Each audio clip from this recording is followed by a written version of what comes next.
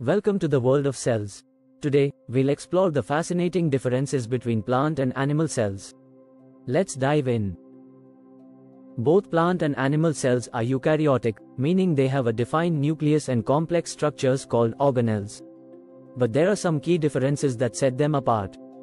First, let's look at the plant cell and different organelles present in it. Plant cells have a rigid cell wall made of cellulose, which provides structural support and protection.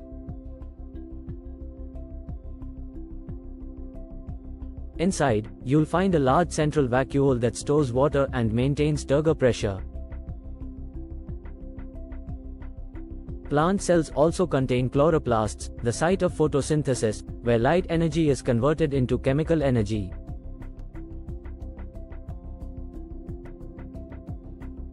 Now, let's examine the animal cell. Unlike plant cells, animal cells do not have a cell wall. Instead, they have a flexible cell membrane.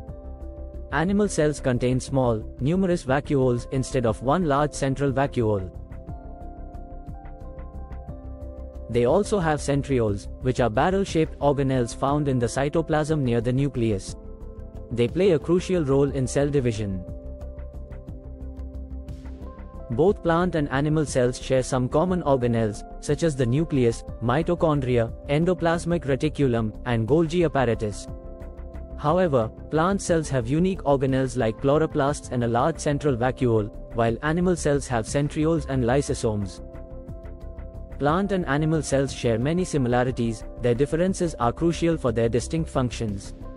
Plant cells are designed for photosynthesis and structural support, while animal cells are adapted for flexibility and movement. Thank you for watching. If you enjoyed this video and found it helpful, don't forget to like, share, and subscribe to the channel for more informative content. Hit the notification bell so you never miss an update.